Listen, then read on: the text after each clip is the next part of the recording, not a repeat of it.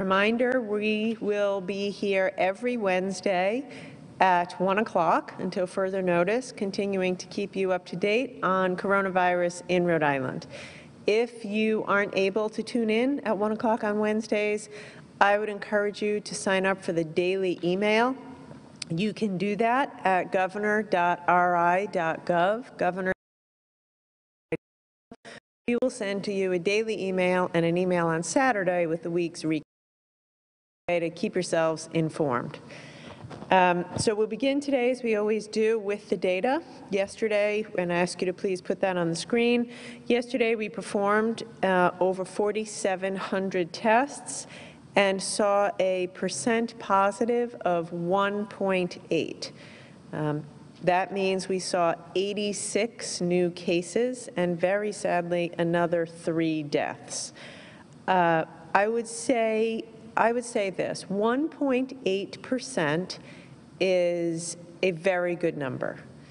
Uh, it's, you know, we want to be certainly below 5%, and anything below 2% is excellent. Uh, I will, however, say that a week ago we were lower than that, and in, you know, in the past week or so, we've gone from uh, 1% to 1.3, 1.5, now 1.8%.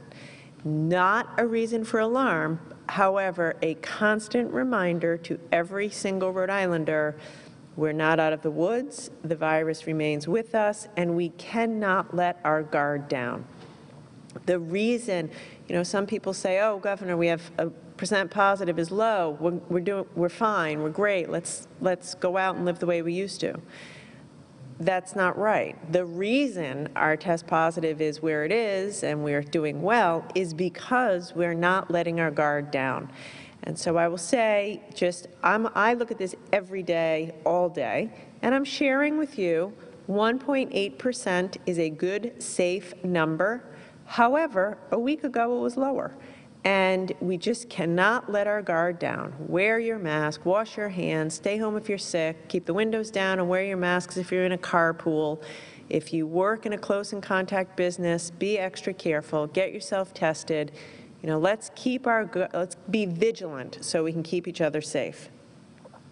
Okay, four or five topics I'd like to get through today. I'd like to begin today as, as I do, um, giving you a report from our business inspections over the past week.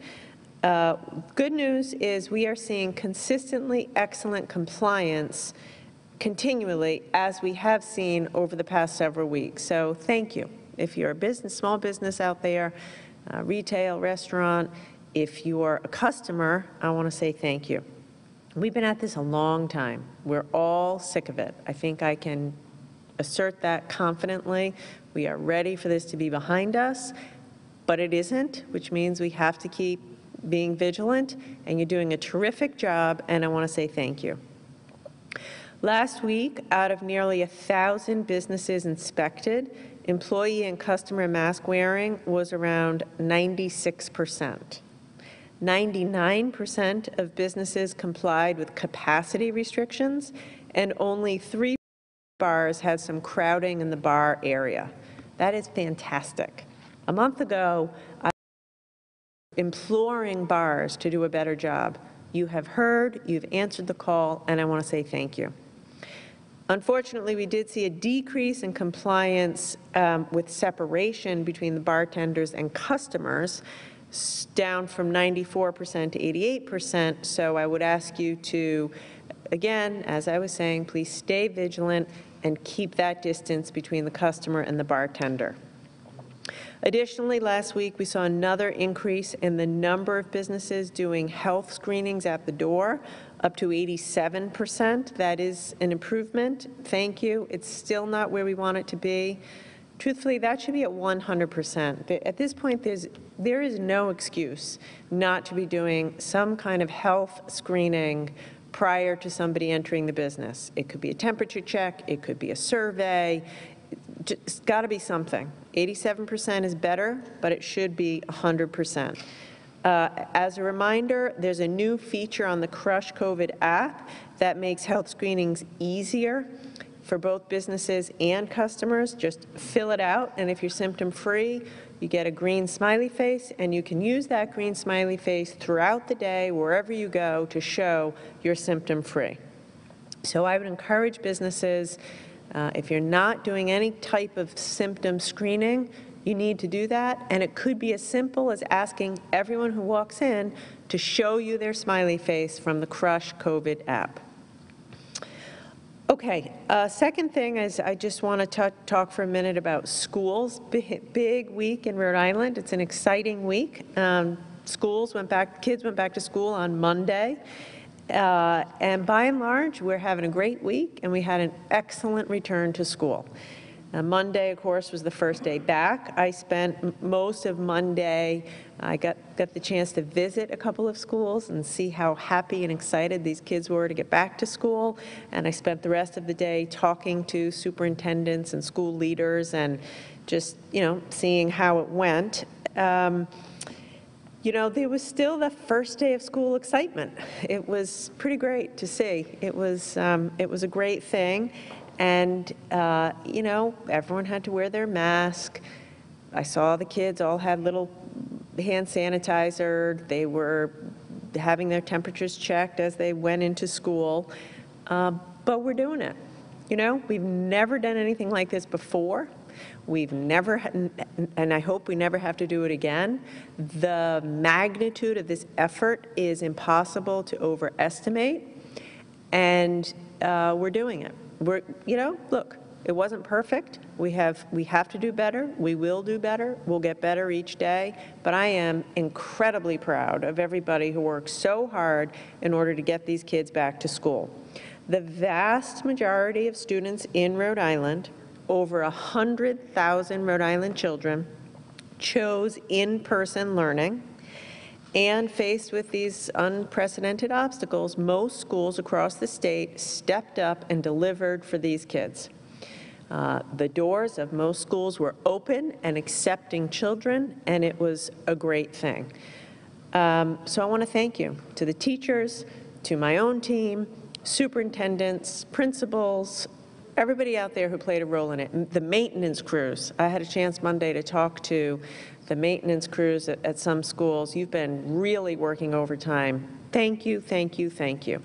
You're on the right side of right getting these kids back to school. It is not easy. It will not, you know, it, we're going to have our issues, but we're doing it, and the children and Rhode Island will be better and stronger for it. Monday was also the launch of our K through 12 testing service. As a reminder, uh, what we're doing here in the state of Rhode Island, which I believe is unlike any other state, we've chosen to set up a separate, dedicated K through 12 testing and contact tracing system. That's how we, committed we are to the safety of teachers and educators and students and school building employees.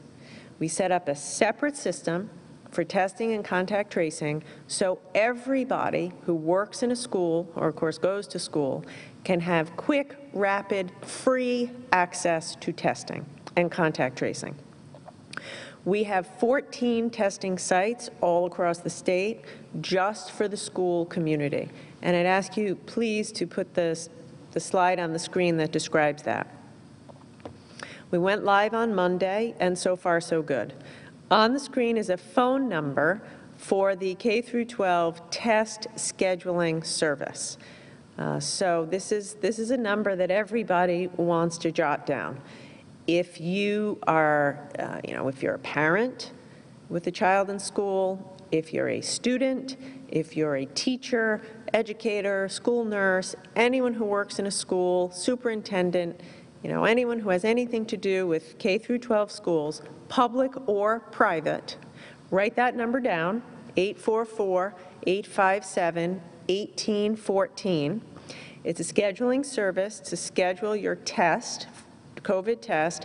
It's operated seven days a week, 7.30 a.m. to 9.30 p.m. And we're committed to providing same-day appointments every day, except Sunday, all across the state. Um, I, would, I want to say this.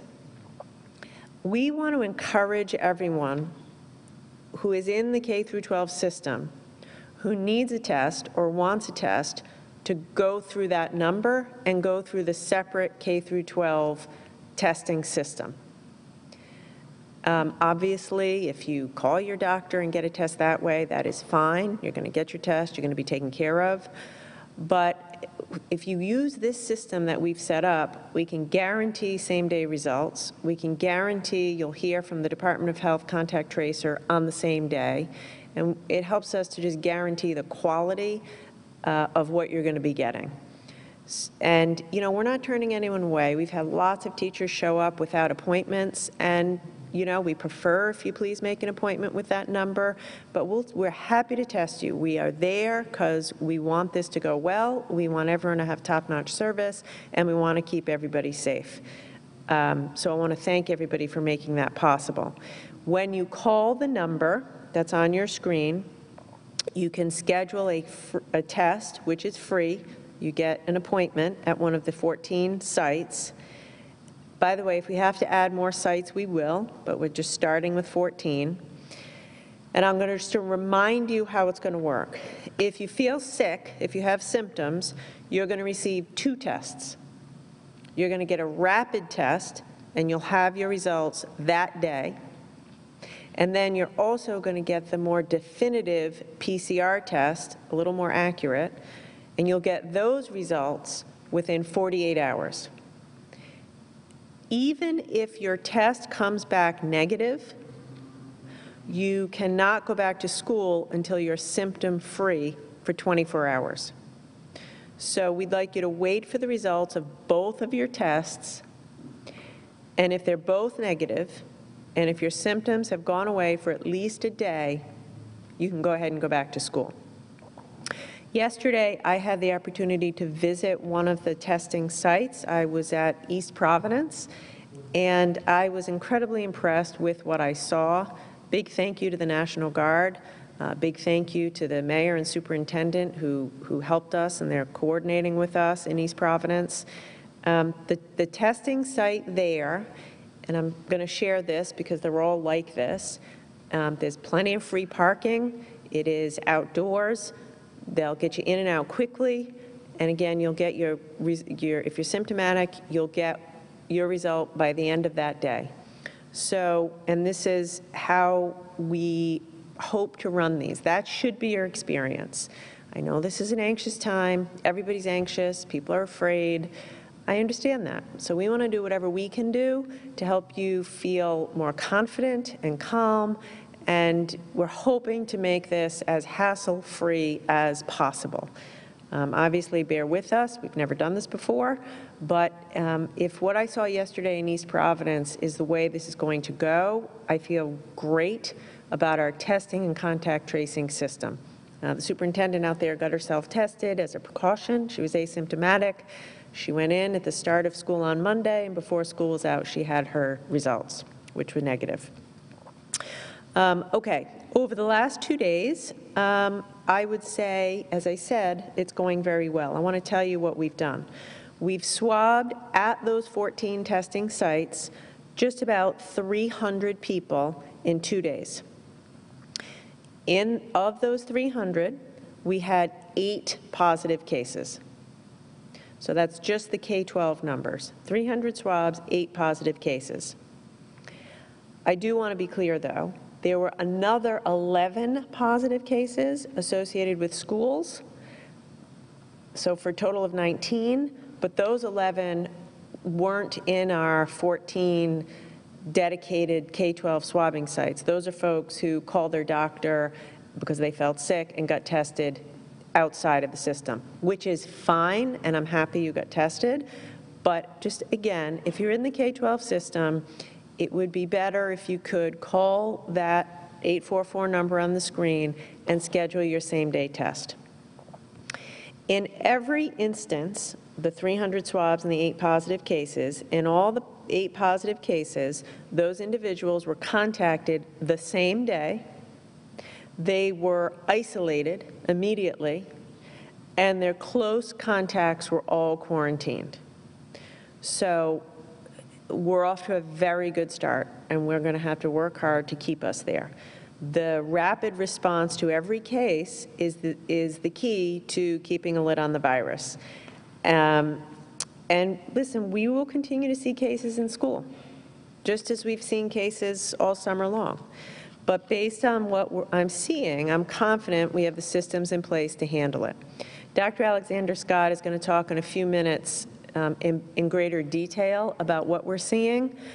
Uh, But the point I'm trying to make to you is, we have a separate system. We're at it now for just a couple days.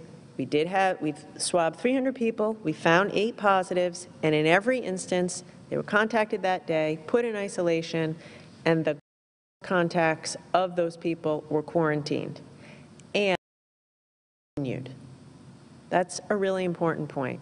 We want to get to a place where someone can test positive, we, we do our system to keep a lid on the virus, and school continues. So, so far, so good, and we have so, what seems to be a robust and um, sturdy system. In addition to the testing service, our Education Operations Center has been at the ready to help schools with their needs. To give you a flavor of what that looks like, we've received over 100 calls since school started at the command center. Um, To give you a sense of the calls, people asking for, schools asking for clarification on guidance for schools, questions about probable cases, um, asking for clarification, asking for seeking information, a lot of what do I do when? How do I deal with this? Which is exactly why we've set up this, this central operations center.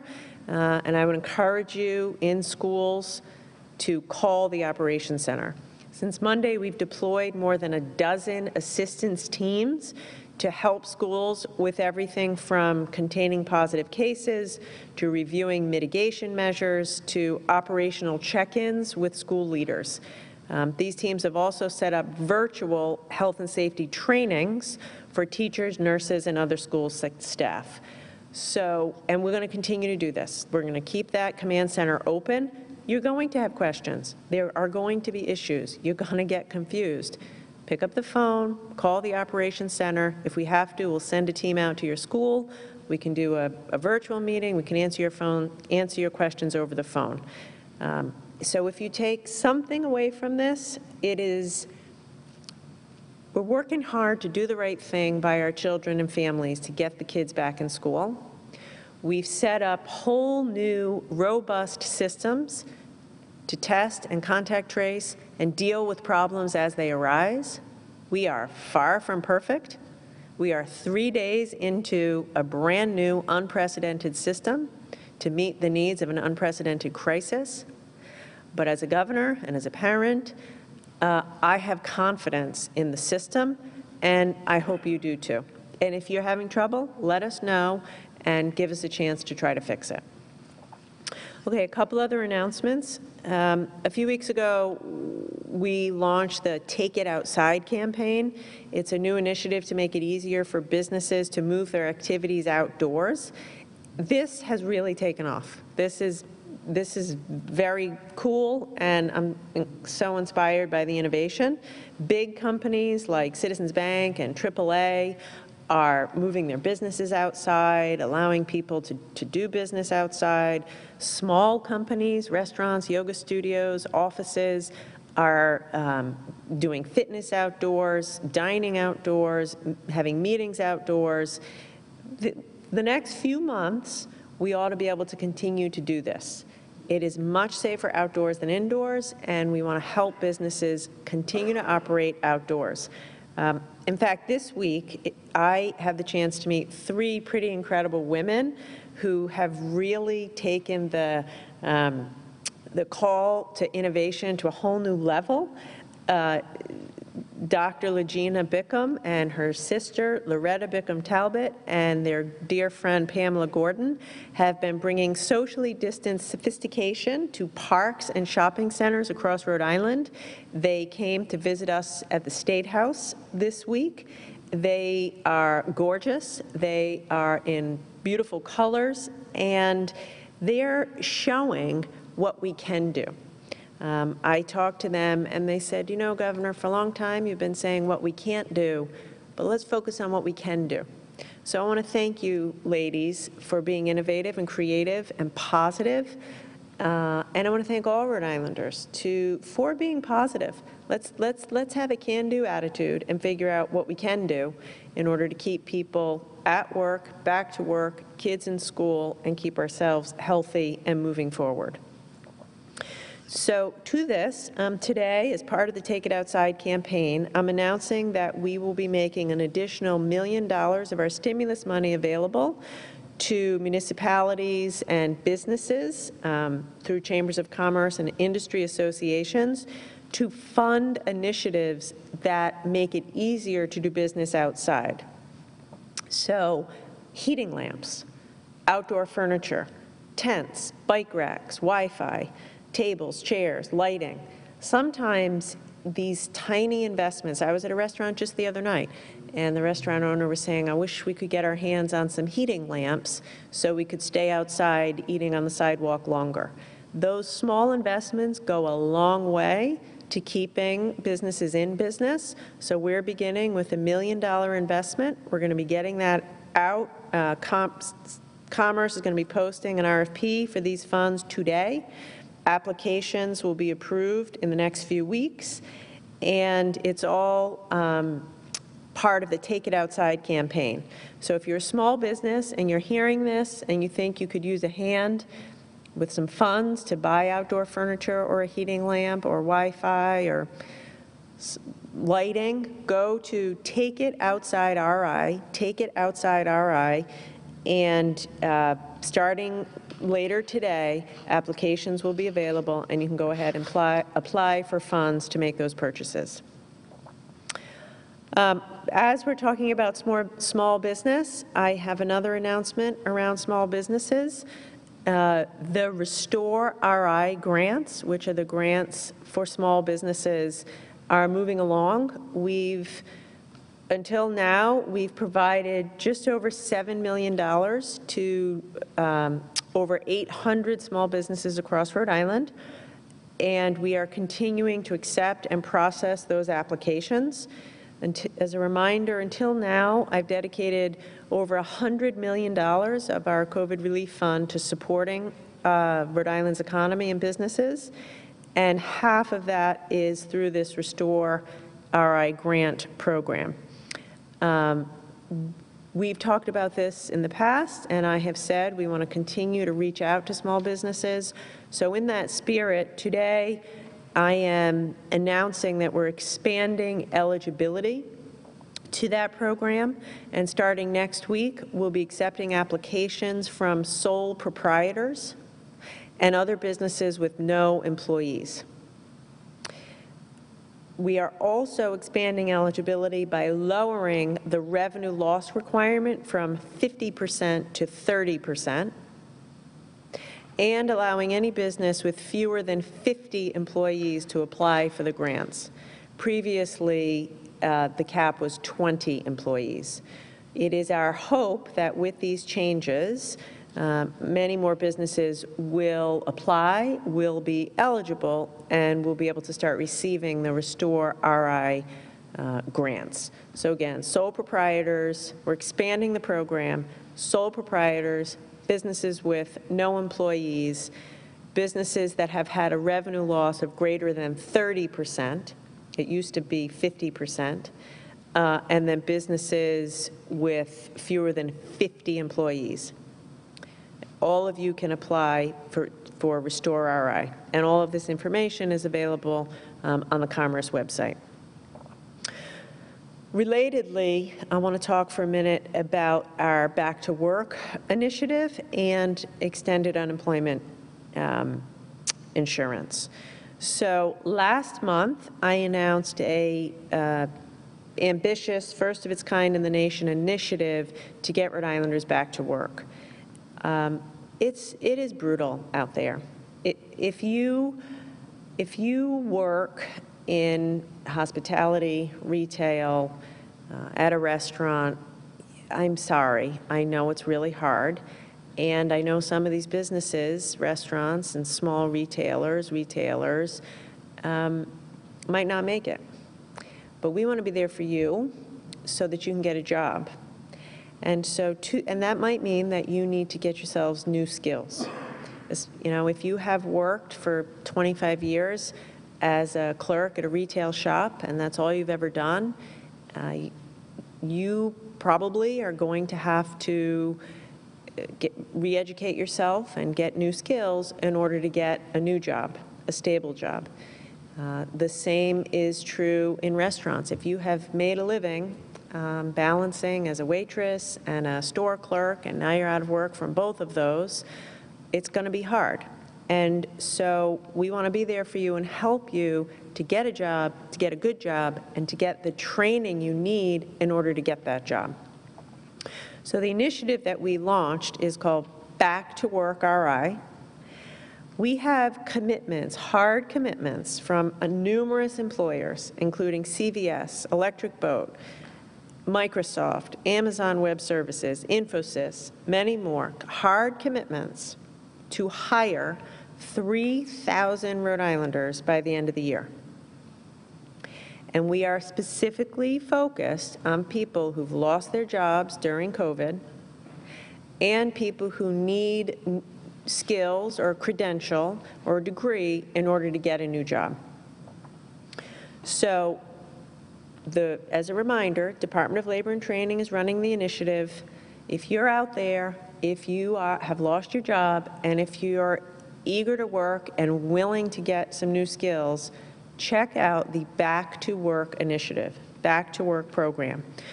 We're using our federal stimulus dollars to pay for the training.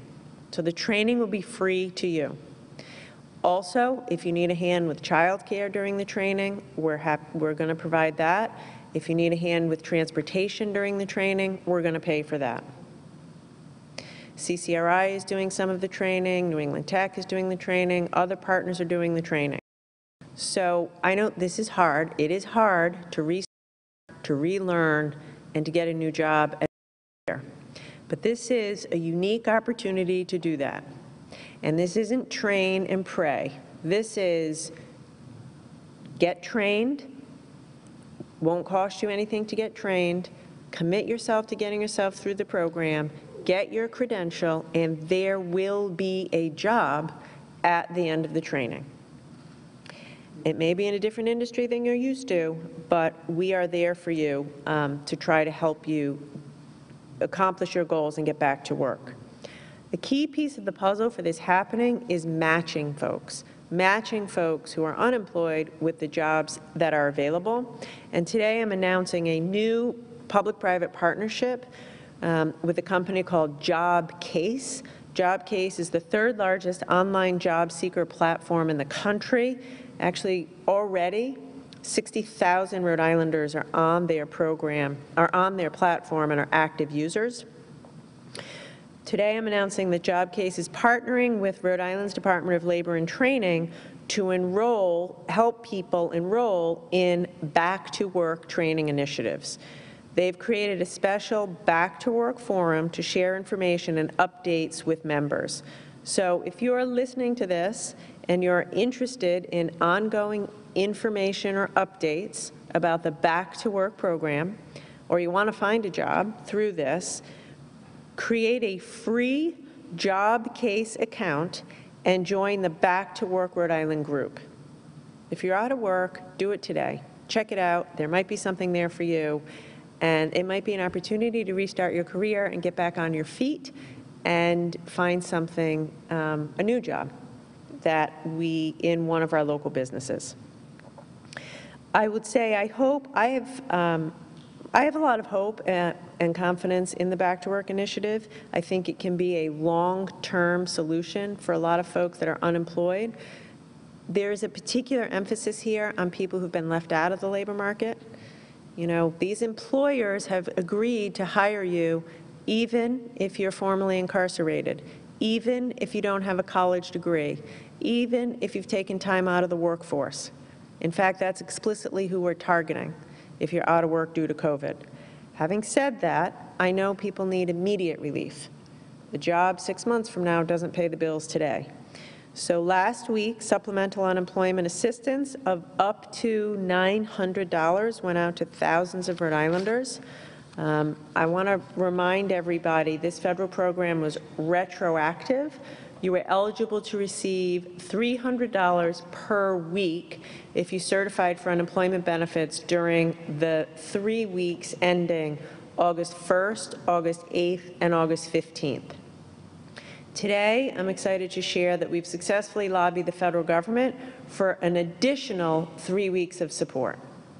So beginning today, the Department of Labor and Training will be distributing an additional $300 per week to those who certified for unemployment benefits for the weeks ending August 22nd, August 29th, and September 5th.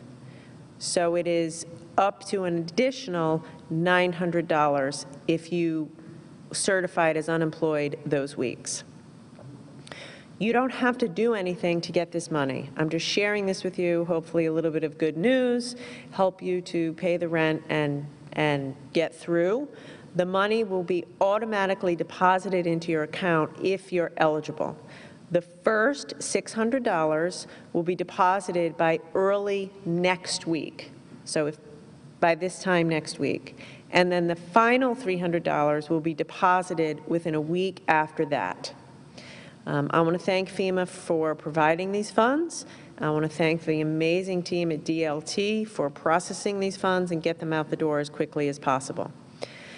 I do want to say that um, the federal government has made clear to us, at least at this time, that there will not be any additional funding available after this. But to those Rhode Islanders who are unemployed, every week during that six-week period, you'll be eligible for a total of $1,800, and I, I hope that helps you make ends meet. Last quick thing. We have heard from people saying, I only got 600, not 900, 300, not 900. Again, the way it works is it's $300 a week for every week that you certified as unemployed during those eligible weeks. And you don't need to do anything. We're going to start getting them the additional money out the door in your paychecks starting next week.